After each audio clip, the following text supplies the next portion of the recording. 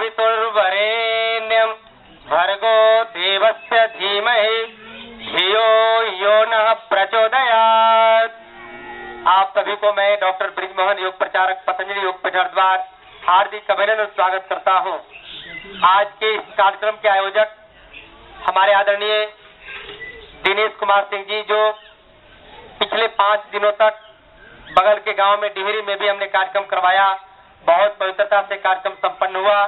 और उन्होंने ही बोला कि बाबा, जब यहाँ आ रहे हैं तो बगल के गाँव में भी कार्यक्रम रख दिया जाए। तो यहाँ भी कार्यक्रम मैंने रखा और बड़ी शालीनता से, बड़ी पवित्रता से आप सभी कार्यक्रम का आनंद ले रहे हैं।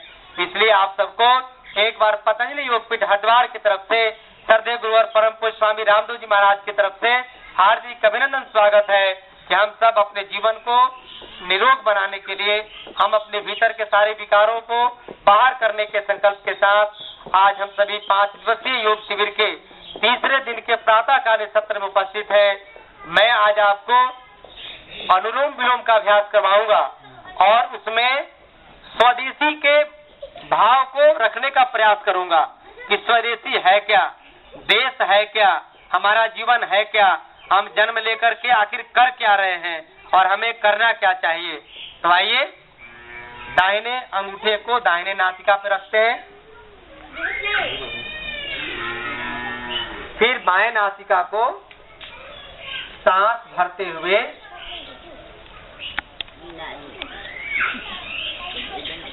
फिर बाएँ नासिका को धीरे धीरे बंद करेंगे, मध्यमा नामिका से और दाहिने नासिका से सांस को छोड़ेंगे। फिर दाहिने से लेंगे, फिर बाएँ से छोड़ेंगे। यानी पाँच सेकंड तक सांस को लेना है, पाँच सेकंड तक सांस को छोड़ना है, और फिर पाँच सेकंड तक ये क्रम चलता रहेगा। हवाई का अभ्यास करते हैं पाँच मिनट तक।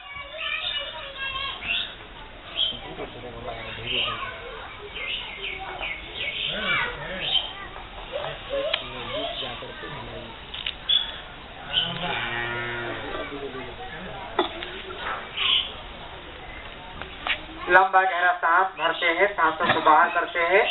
बाएँ नासिका से दाएँ नासिका से, यानी चंद्र स्वर, सूर्य स्वर के माध्यम से, इड़ा पिंगला के माध्यम से श्वास प्रश्वास की क्रियाओं को करने से जब हम बाएँ नाक से सांस भरते हैं तो हमारा दाहिना दिमाग ठीक होता है। और जब दाहिने नासिका से सांस भरते हैं तो दिमाग का बाया पक्ष ठीक होने लगता है। ये अभ्यास करने से माइग्रेन की बीमारी मिर्गी की बीमारी पागलपन की बीमारी अनिद्रा की बीमारी जिनको नींद नहीं आती है जिनको हाई ब्लड प्रेशर है या जिनको लो ब्लड प्रेशर है। और लंबा गहरा अभ्यास इसका करते हैं।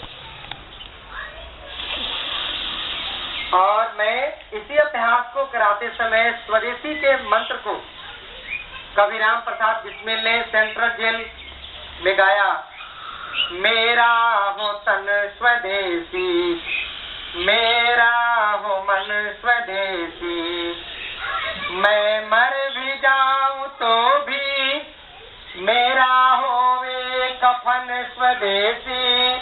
ऐसे वीर वीरांगनाओं के अंतरात्मा की आवाज़, जिन्होंने, यानी हमारे पूर्वजों ने, इस देश के साढ़े सात लाख से ज़्यादा वीर वीरांगनाओं ने एक ईस्ट इंडिया कंपनी द्वारा संचालित शासन व्यवस्था को दूर करने के लिए हँसते हँसते प्राणों की आहुतियाँ दे दी। लंबा गहरा सांस भरिए। हम सभी उसी पूर्वज, उसी पुरखों की संतान हैं। उस समय केवल एक ईस्ट इंडिया कंपनी देश को लूट रहे थे। आज करीब देश में पाँच हज़ार से ज़्यादा विदेशी कंपनियाँ देश को सीधे लूट रही हैं। आपको मालूम हो देश गुलाम था।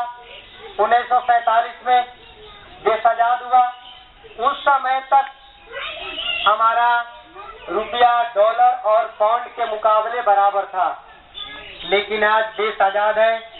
आज़ादी को इतने साल बीत गए। लेकिन प्रति वर्ष रुपये का मूल्यन होता गया और रुपया डॉलर और पाउंड के मुकाबले सौ गुना नीचे आ गया। सोचिए हमारा देश कहाँ जा रहा है रसातल में। कहने को आज़ाद है कहने को स्वतंत्र है कहने को स्वदेशी शासन है, लेकिन व्यवस्था इतनी लचर है, व्यवस्था इतनी बर्बाद है कि डॉलर और पाउंड के मुकाबले हमारा रुपया प्रति वर्ष नीचे की तरफ़ जा रहा है और हमारे ऊपर विदेशी ताकतों का कर्ज बढ़ते जा रहा है। लगातार सांस भरिए हम सभी गौरव महसूस करते हैं कि माँ भारती के धरती माँ की कोख में जन्म लिए दुनिया में कोई भी ऐसा देश नहीं है जो इस मिट्टी को, जिस धरती को माँ कहता हो जिस देश को माँ कहता हो। लेकिन भारत एक ऐसे विराट दिव्य चेतना के साथ जीने वाला राष्ट्र है, जहाँ की मिट्टी को हम सलाम करते हैं, माँ कहते हैं, और जिस देश को भी माँ का दर्जा देते हैं, भारत माता, धरती माँ का ऐसे वीर लंबा गहरा सांस भरिए तो आइए, आज हम संकल्प लेंगे अपने राष्ट्र को मज़बूत करने के लिए। राष्ट्र तभी मज़बूत होता है जब व्यक्ति मज़बूत होगा, जब परिवार मज़बूत होगा, जब समाज मज़बूत होगा, जिला, राज्य और देश मज़बूत होगा, तभी जाकर के हम सब राष्ट्रवादी चेतना के साथ आगे जी सकेंगे। तो आइए, आज हम संकल्प लेंगे जिस तरह से खुदीराम बोस, भगत सिंह राजगुरु सुखदेव, रानी लक्ष्मीबाई चिन्नम्मा दुर्गा भाभी से लेकर के ऐसे असंख्य भाई बहनों ने अपने सुखद जीवन को, अपने मलमली जीवन को राष्ट्र के आहूत कर दिया। यात्राओं में, संघर्षों में सेलुलर जेल, अंडमान निकोबार काले पानी की सजा, ऐसे कुकृत्य दुराचारी युक्त कुकर्म युक्त सजाओं का लोगों ने भोगा है, कष्टों को झेला है। तो आइए, हम अपने पीढ़ियों को ऐसा नहीं भोगने देंगे। पीढ़ियों को बर्बाद होने से बचाने के लिए आज हम संकल्प लेते हैं। देश को बचाना है तो स्वदेशी सामान का इस्तेमाल करना होगा। और जब देश का बना हुआ माल देश में बिकेगा देश के लोग खरीदेंगे तो हम और आप समृद्ध होंगे, देश समृद्ध होगा। लंबा गहरा सांस।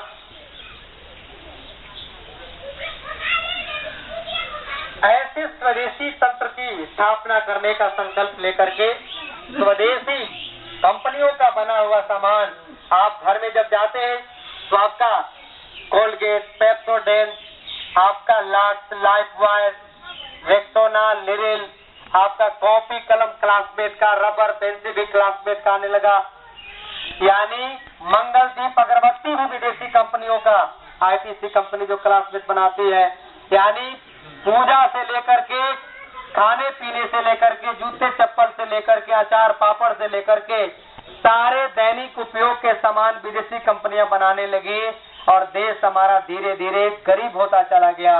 और हम कितना भी कमाएँ आपको एक उदाहरण के तौर पे, यदि अमेरिका का या इंग्लैंड का एक मजदूर आठ घंटा मेहनत करेगा तो वह एक डॉलर या पाउंड कमाता है। वह यदि भारत में आता है तो वही मजदूर मेहनत किया आठ घंटे का, लेकिन भारत में केवल आते ही उसके रुपये का शक्ति सौ गुना बढ़ गया। और भारत का मजदूर उतना ही मेहनत किया आठ घंटा, एक रुपया कमाया यदि यह मजदूर इंग्लैंड या अमेरिका जाता है तो केवल गया और एक रुपया की ताकत अस्सी गुना, सौ गुना नीचे आ गई। सोचिए, कितना अंतर है देशों में, कितना अंतर है हमारे गाड़ी कमाई के मूल्य आंकने में। ऐसे विभक्त और ऐसे संघर्षपूर्ण जीवन को हम बर्बाद नहीं होने देंगे।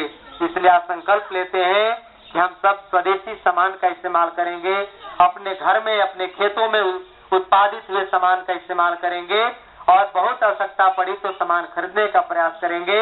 और जब खरीदे तो देखें कि कौन सा देसी कंपनी का है, कौन विदेशी कंपनी का है। ऐसे भावों को रखते हुए आज पूरे दुनिया में लंबा गहरा सांस भरते जाइए।